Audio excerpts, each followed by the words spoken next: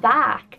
So spooky season may be over in the parks, but it is certainly not over on this channel. I have a whole bunch of Halloween Horror Nights videos coming in the next couple of months and hopefully that's going to take us right up until Halloween Horror Nights 29 speculation season. I have an Unmasking the Horror Tour video coming up, an RIP tour video coming up, loads of Halloween Horror Nights vlogs, so there's definitely loads of Halloween Horror Nights goodness coming your way. And it starts right now with my Halloween Horror Nights 20 review.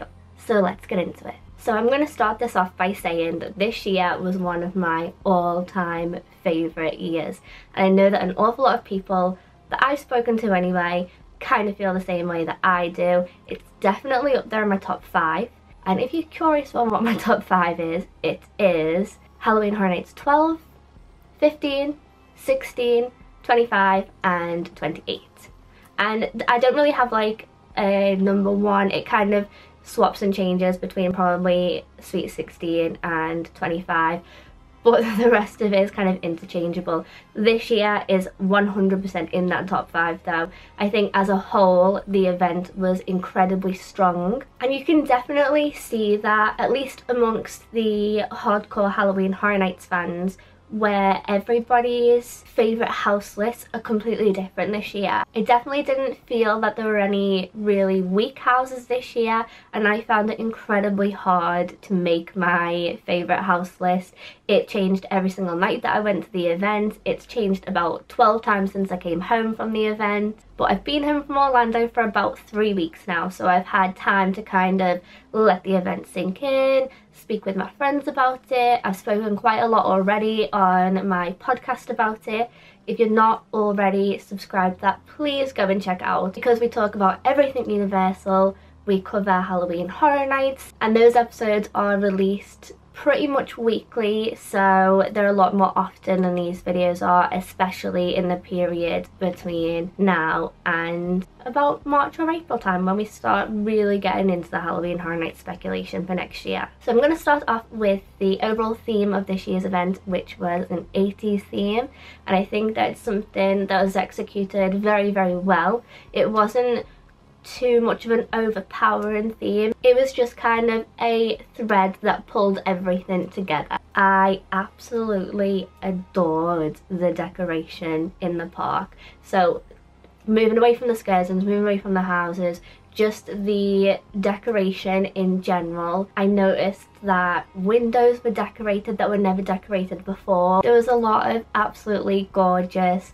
vintage style Beistle decorations, which I'm absolutely obsessed with. I think that they look amazing. So the windows were decorated with them. We had the pumpkin bar, which, oh my god, it was gorgeous. So it had like Halloween bunting, it had like Halloween garlands, carved pumpkins, old school Halloween posters. It was absolutely stunning. It was all lit with orange lights. I'm going to insert some pictures throughout this video so you guys can see what I'm talking about if you didn't go to the event or refresh your memory if you did go to the event. But I was obsessed with this bar. I honestly wish that we had this year round because it was stunning. The vintage decoration carried through to this year's tribute store. So again, we had more of the Beistle decorations with ornaments, with bunting, Ben Cooper masks. We had the Halloween Harlequin wall, the trick-or-treat wall, taking inspiration from, I guess, the walls of Disney. Everybody wanted their pictures taken in front of these walls in the tribute store and I do not blame them because they were beautiful. As well as the vintage decorations in the tribute store, we also had the Sam which again I adore Sam. I was very very happy to see Sam back. We had pumpkin headed scarecrow type things which decorated the outside of the tribute store. We had the huge Stranger Things display inside of the store where we actually had the ashes from the upside down falling around the display which again was amazing. Kudos to whoever was in charge of decorating the tribute store and the park this year because they did an absolutely amazing job. But let's move on to scare zones. Otherwise, I'm going to talk for this whole entire video about the decorations that Universal had this year. So the scare zone that I ranked number 5 for this year is the Harvest. So this is one that I didn't actually manage to go through as many times as the other scare zones and I guess that was maybe just because of the location of it because it was located in the Plaza of the Stars area of Production Central. So that's the very first street that you walk through as you enter the park. And because I was doing stay and scream most nights where I would be at the back of the park at Moe's, by the time I'd get down to the front of the park, that area was just so filled with people who were entering and there was no houses really down that way other than Stranger Things which would cut a little bit into that scare zone. But at the same time that scare zone was made up of an awful lot of scarecrows. And if you're a long time viewer or you do listen to the podcast you'll know that I am absolutely terrified of scarecrows. But my absolute favourite thing about that scare zone were these huge jack-o'-lantern stilt guys that they had. And so I could see these guys from afar even though it wasn't in the scares and like if I was in line for Halloween or if I was down near Felon or I was getting in line for Stranger Things I could see these guys from miles away. They were probably some of my favourite costumes of the whole year. So the other four scare zones I had an incredibly hard time trying to rank because I did spend a lot of time in the rest of them. So right now I am saying that my number four scare zone was Revenge of Chucky. I adored the Chucky puppet that we had. I thought that the people who were doing the puppeteer work and the people that were doing the voice of Chucky were amazing at what they were doing. Every single time that I was in that zone, both casts were always given a million percent. The interaction was second to none. I had more interaction in that zone than I did in any other. I loved watching Chucky be savage with absolutely everybody and then I'd hide like, please don't say anything about me, I'm shy. he did get me one time though I'm debating whether or not I want to upload it. But overall, it was a super solid zone and I honestly really hope that we see Chucky back at the event in the future. I was so gutted that we didn't have a Tiffany, but there's always next time. So my number three scare zone of this year is Twisted Tradition and that is because this zone was just so beautiful. I am a sucker for pumpkins. I always love the pumpkins in the trees and I just loved all of the costumes. I didn't necessarily get as much interaction as what I did in the Chucky zone but I just think that the set pieces that they had were incredible. That church was stunning. That's probably one of my favourite sets that we've ever had in any scare zone ever. And when I think back of recent years, I think it's definitely things like the church from Twisted Tradition, the spaceship from Invasion and the ship from Dead Man's Wharf are all three super well done set pieces. And honestly I just really want them to ship that church to England and I'll just keep it in my garden for the next time that they want to use it because it was just so beautiful. The way that it lit up at night the sound effects that were coming from it and the fact that they'd put that thing together like overnight. That level of work in such a short time blows my mind I didn't have much interaction with the scare actors that were around the church area and I would have loved to have had more interaction with them because they seemed like they were super cool characters and that kind of brought the story together. Everything about it was just so beautiful and I would really love a Twisted Tradition house so that we can see a little bit more of this story. So my number two was definitely not the scariest of scare zones, but was 100% one of the funnest ones. And that was Vamp 85. I'd say I probably spent the most time in the scare zone out of all of them. I would watch the Shoot to Thrill show at least once a night. I loved it. I thought it was so much fun. I adored Trisha White. I honestly feel that she deserves Scare Actor of the Year. She gave 110% every performance, every night. She was incredible. I had so many fun interactions with her and I really enjoyed watching her interactions with Mark the camera guy and with the vampires and with other guests at the park too. And the soundtrack in that area was spot on it was so cool. I danced my way through that zone every single night. So that takes us to my number one scare zone of this year, which of course was Killer Klowns from Outer Space.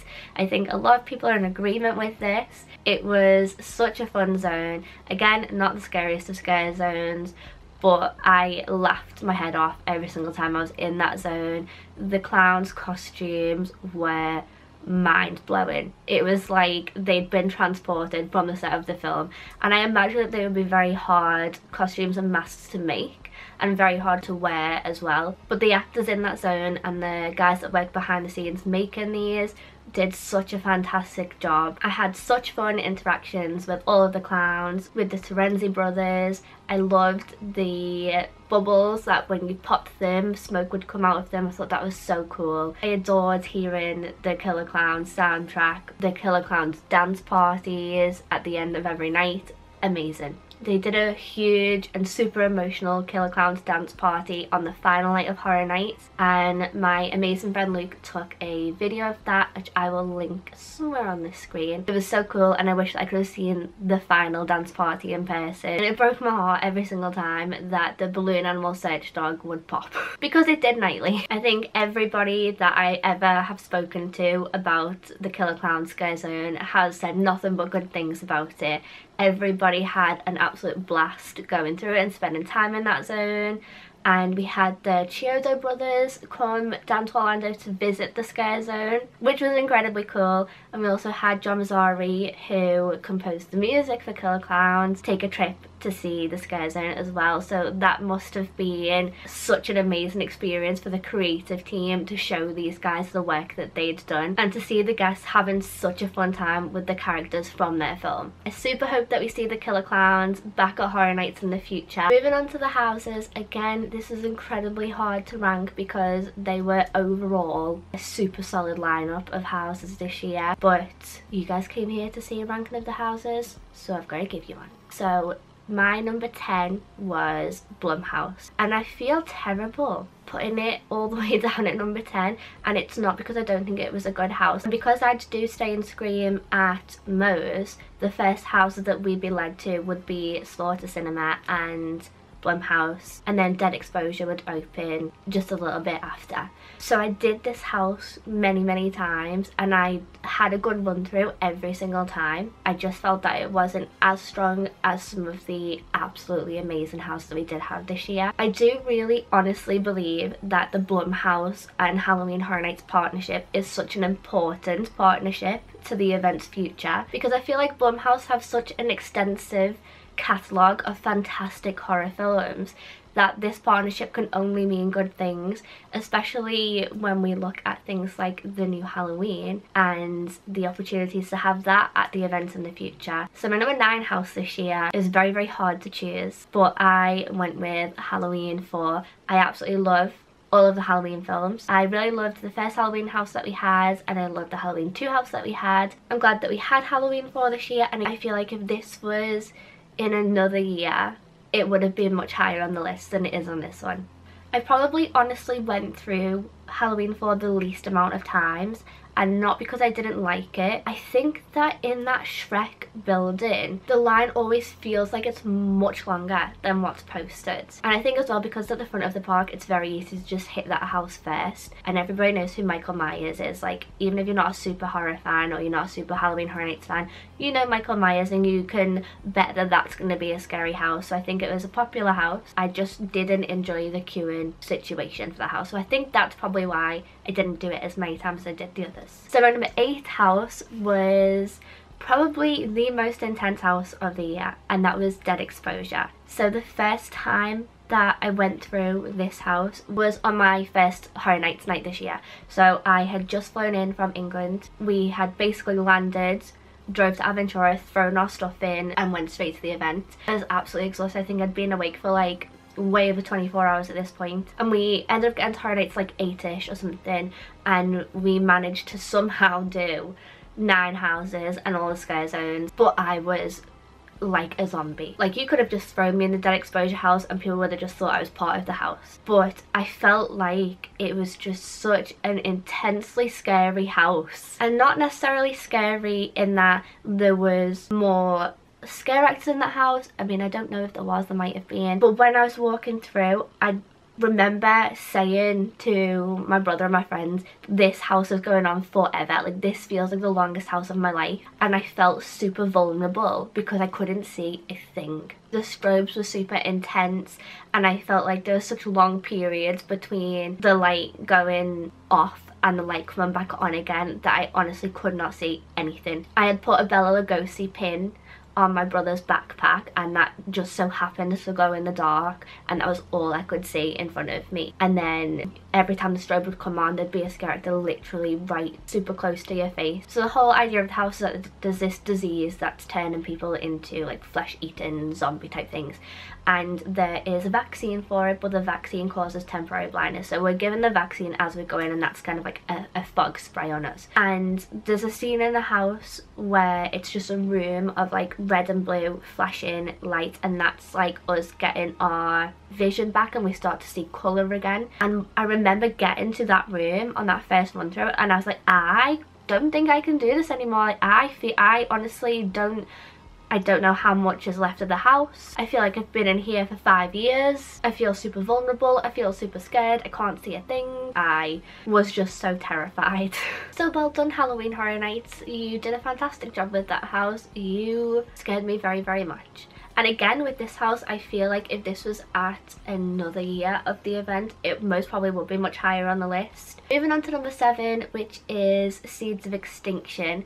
I thought this was a super interesting house, especially when we did our Unmasking the Horror tour, which I'm going to do a whole separate video about so you can see it all in detail. There was just so much cool stuff in here. I really thought that was interesting how there was no human scares at all. I kind of went into it expecting it to mostly be non-human scares but I did honestly expect to have a couple of humans in there but there was none at all. The only humans that were in there were the dead skeletons of humans that used to exist on Earth. I loved the use of the hand puppets in this house. I loved the use of the camouflage scares. We also had the slanted walkway back again this year, which was second floor of a Mexican restaurant that had caved in when this meteor had hit. There's some cool nods in there to Halloween Horror Nights events of the past, like the Good Harvest Daycare, which was a nod to the Good Harvest Orphanage which is where Cindy was. And there was an art gallery that was displaying pictures from the Dust Bowl, which referenced Scarecrow, which is obviously Scarecrow the Reaping. Had a cool ultra-violent comic book stand in there too, which again I'll go more in detail with on the unmasking video. I loved the backstory of this house. I feel like it was a gamble of a house because I feel like it could have really gone either way but thankfully it went the good way. My number six house this year was Scary Tales and honestly this top six was definitely the hardest of the hard job that was ranking the houses and I'd probably say three to six have changed the most since my first night of going to Horror Nights this year and I actually changed them around a little bit again just before I started recording so I was like oh do I really want that there? The facade of Scary Tales was gorgeous. I absolutely adored the Flying Witch. I thought she was incredible. Again, there was water effects in this house, so I would always get soaked in the Humpty Dumpty room. So that was the King's Men who couldn't put Humpty Dumpty back together again, and Humpty Dumpty had splattered all over the place, and all of these Kingsmen have egg all over their faces. I guess that the water spray was them throwing up the egg onto you. I thought the puppets in this house were super cool. We had the Cowardly Lion puppet, at the start of the house and we had the bear puppets and of course we had the return of HHN Bear at the end of the house which everybody loved every single time I went through it everybody chanted for HHN Bear. Moving on to number five this is how you know that this was an incredibly strong year because my number five which really really surprised me is Stranger Things. Now I am a massive massive fan of Stranger Things. I have watched season 1 and 2 probably 30 times. I basically want to have like all of my top 5 as my number 1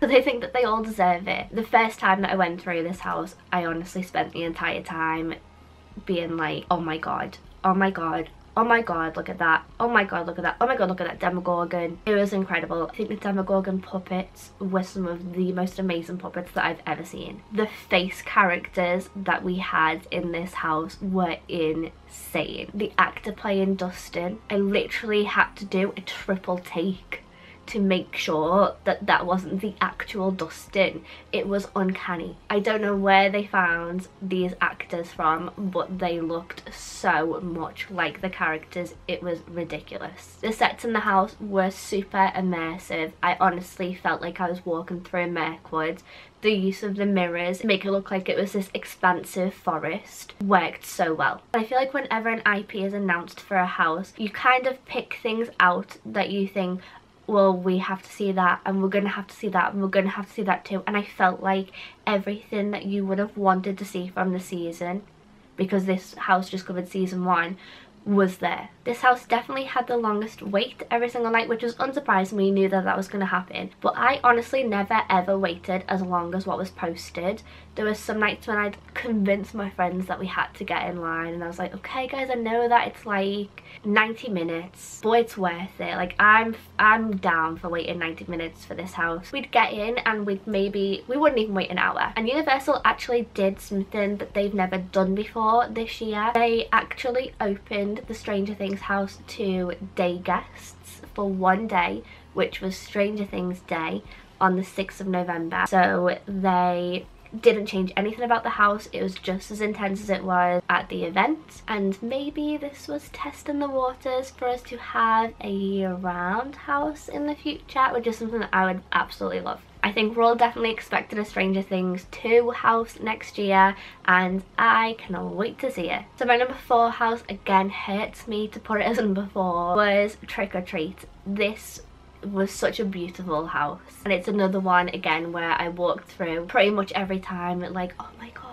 that's so cool oh my god look at Sam oh my god look at all these pumpkins I felt like I was there in every scene of the film. I had super high hopes for the set design of the quarry and it definitely didn't disappoint. The school bus kids were fantastic. So the facade of this house was Kreeg's house. So as we walked into the house Sam would be stood at the top of the stairs and then Krieg would come out, shoot his gun and Sam would disappear. And I didn't see that the first couple of times that I went through. But the first time I saw it I was like wow that's cool. I loved that we got to see Rhonda in the house. I really enjoyed that we reused the werewolf puppet from American Werewolf in London for the werewolf scene of this house. I feel like this year was very, very puppet heavy and I really liked that. I hope that we do see that more in the future. And I'm obsessed with the pumpkin scent that they were pumping as you walked into the house this year. Okay, so my number three house this year was Carnival Graveyard and wow, what a house this was. You could have spent all day long in this house and you still wouldn't have seen everything in it.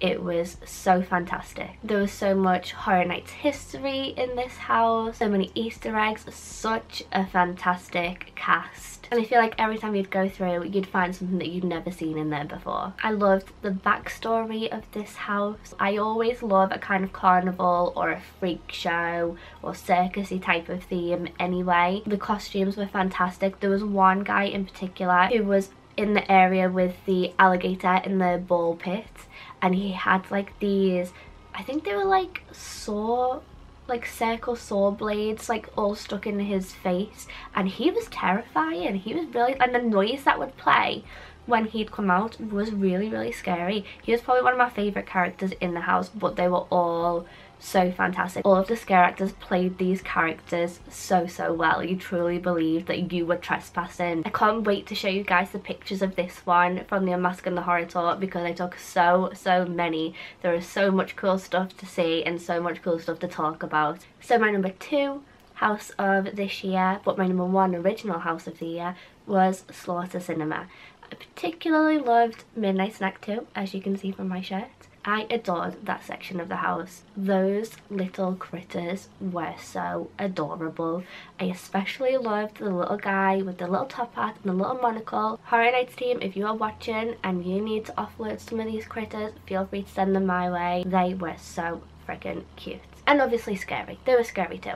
There was a giant one which was apparently called Falafel and he was huge but I loved seeing these guys. This house I probably went through the most because this is the one that we'd always head to first and when we'd do Stay and Scream it would have maybe like a five or ten minute line in the beginning and that's because everybody that was in that stay and scream area would either head to Slaughter Cinema or to Blumhouse. But as soon as we'd come out from that first run, it was completely empty. So most nights we were doing it like maybe three or four times with no line at all, just walking straight in. And I went to Horror Nights 11 nights this year, so that is an awful lot of Slaughter Cinema time. I thought everything about this house was so cool. I loved the ninja guy at the beginning, sorority sacrifice, of course, pumpkin guts, Shitty's kids, the Amazon cannibals from Planet Hell, those ladies were fantastic. And of course the Swamp Yeti and those guys would get me every single time. No matter how many times I went through the house, you could guarantee that I would be running out of it because those swamp yetis were intense. The only thing that I wish that we would have had more of in that house is Cult of the Beast Baby. I feel like that was probably the only scene that I would have wanted a little bit more from,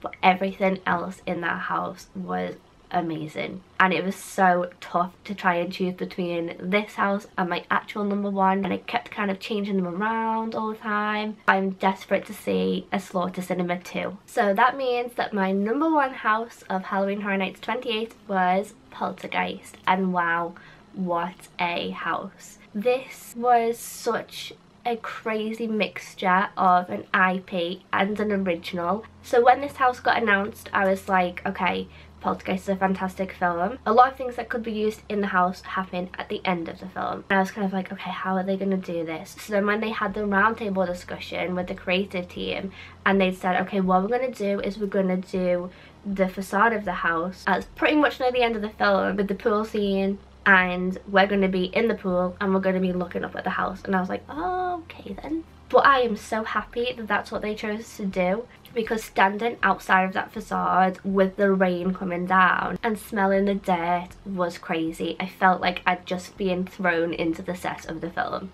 And when we walked underground underneath the house, those were some of the best scares that I've had in a Halloween Horror Nights house. It was terrifying, there were so many scares, you didn't know where they were going to be coming from, you didn't know what was a scare actor and what was fake I loved seeing the meat crawling across the counter and the face peeling scene. I loved seeing the clown in the house. But one of my favourite parts of it was that they took us into the light, which we don't do in the film. And when they were talking about this before the event had started, again I was like, oh really? Okay. and it just worked so well. It was fantastic.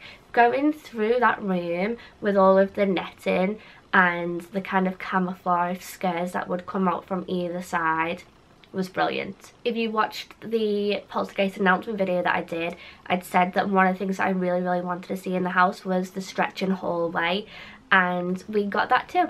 You can really tell when you're walking through this house that this was a huge passion project for the creative team and that they put everything into making it and they really genuinely cared about making this an amazing house and it just shows and again the use of puppetry in the house was amazing. I really loved all of these classic houses that we've been getting over the last few years so things like The Exorcist, and The Shining last year and Poltergeist this year and I really hope that's something that we continue with in the future. So that wraps up my review of the houses and scare zones for Halloween Horror Nights 28.